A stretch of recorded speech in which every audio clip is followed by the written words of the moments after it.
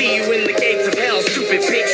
I hate you and I hate the smell of human sick. I wasn't always a crazy ass lunatic. I used to love the human race. One human ruined it.